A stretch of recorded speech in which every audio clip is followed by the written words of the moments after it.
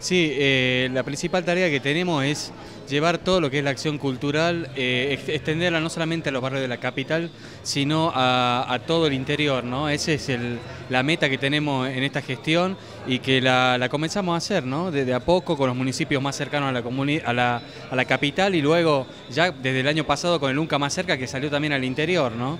Entonces, bueno, la, misión es esa, la cultura es para todo y todos tenemos que solidarizarnos para que así sea.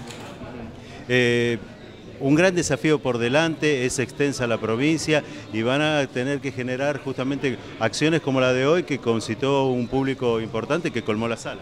Sí, el público eh, nos apoyó, quiere decir de que la, propuesta es válida, de que lo que nosotros pensamos tiene, tiene un camino y bueno, vamos a seguir eh, desarrollándolo así eh, en todo el interior, ¿no? Y, también este, entrando en contacto con las diferentes unidades culturales y trabajando en conjunto. Es fundamental el trabajo en conjunto para, para el éxito de todo, de todo lo que sea un proyecto, ¿no?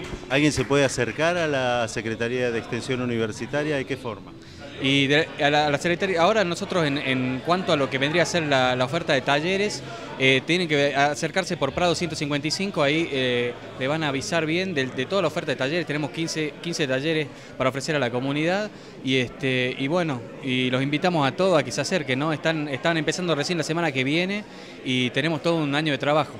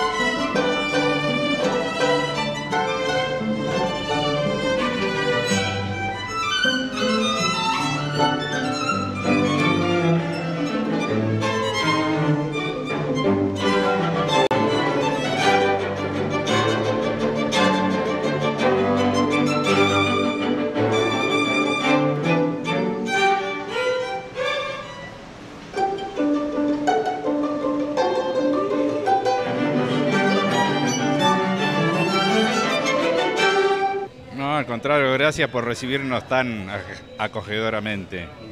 Eh, realmente fue una linda experiencia, creo que el cuarteto en sus 59 eh, eh, años de, vida es la primera vez que llega a Catamarca. Y además hemos tenido un primer contacto con los chicos estudiantes de música hoy por la tarde y ahora hicimos el concierto que bueno, espero que haya sido el gusto de todos ustedes obras variadas, obras que van, digamos, recorriendo el mundo, pero además no se han olvidado de los autores argentinos y eso también le da una identidad. Bueno, una característica de este conjunto es, cuando sale al exterior, es reproducir las obras que, que generaron nuestros artistas, los maestros, nuestros compositores, tanto de la línea clásica como de la línea popular, que son transcriptos para este conjunto.